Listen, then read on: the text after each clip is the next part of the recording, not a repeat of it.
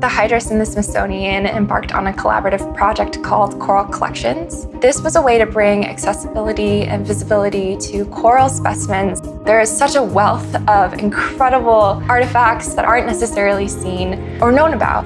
We're starting this partnership between the Smithsonian, the Hydrous, and Adobe, focusing on coral reefs. Coral bleaching, for example, to see that happening in real time, but also through augmented reality, not just necessarily on a screen, really helps to ignite that flame of we've got to do something. Some of the benefits of 3D scanning and, and, collecting through 3D scanning is that we're able to go there to a scientific research site, document that site um, in a completely non-destructive way.